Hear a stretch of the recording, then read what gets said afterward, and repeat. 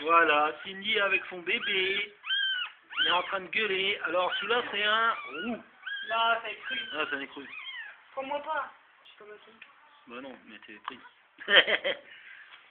Et là, voici euh, le deuxième, un noir.